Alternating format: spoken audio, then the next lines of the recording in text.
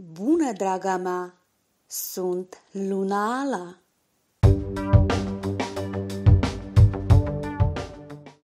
Pentru vărsători, decembrie este un moment neobișnuit de activ și favorabil.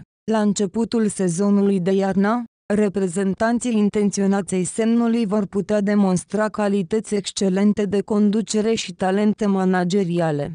Luna aceasta, mulți vărsătorii nu se vor teme să-și asume responsabilitatea pentru evenimentele care au loc și este posibil ca această calitate să devină cel mai puternic atu al lor.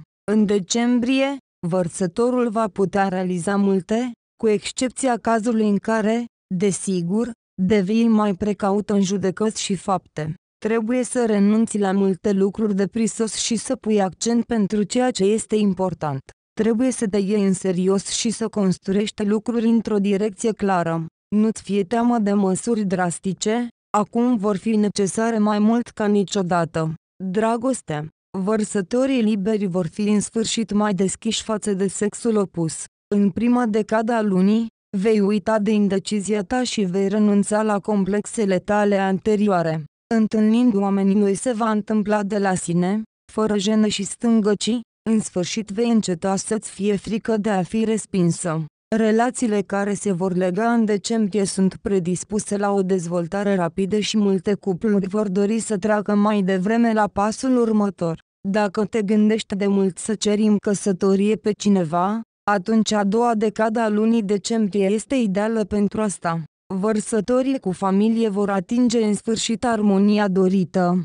Probabil că vor fi unele confruntări cu a doua jumătate din 12 până în 22 decembrie, dar vor fi atât de minore, de aceea nu ar trebui să le acorzi atenție. Îngrijirea și afecțiunea simplă te vor ajuta să menții echilibrul într-o relație. La sfârșitul anului, unii vărsători s-ar putea să fie depășiți de gândul de a începe o poveste de dragoste secretă. Ar fi bine să ai în vedere că aceasta este o întreprindere foarte riscantă care nu merită riscul. Sănătatea. În prima decadă a lunii, se poate întâmpla să fii nervoasă și tensionată. Pentru a te calma și a evita situațiile de sănătate neplăcute, începe să stăpânești tehnicile de respirație și meditația. Înotul și yoga vor avea, de asemenea, un efect pozitiv asupra sistemului nervos și te vor calma. Dacă ți este greu să adormi sau suferi de treziri frecvente pe timp de noapte, atunci ar fi mai bine să vizitezi un medic și să ceri sfaturi despre administrarea sedativelor. Baia cu ierburi înainte de culcare și plimbările în aer curat sunt minunate pentru sănătatea ta. În a doua decadă a lunii, vărsătorii își vor fi reaminți de ei înșiși prin probleme articulare. Astrele îți recomandă să eviți efortul fizic intens și plimbările lungi, articulațiile genunchilor pot avea de suferit. Încearcă să porți doar pantofii confortabili și fii mai puțin activ în sală.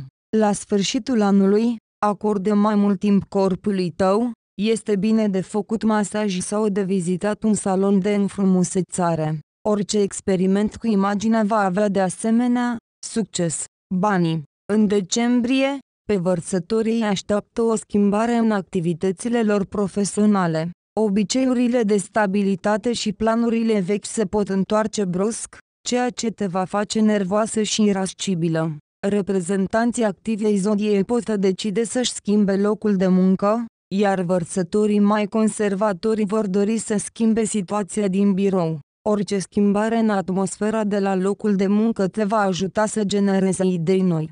Nu ar trebui să-ți faci publice planurile tale colegilor, mai ales celor care s-au angajat recent.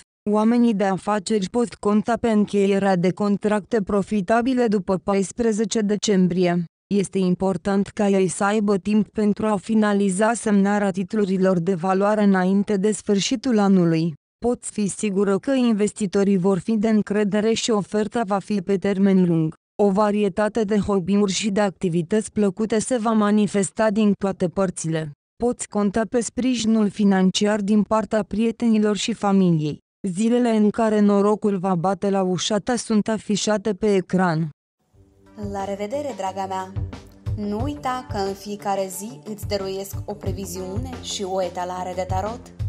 Te aștept!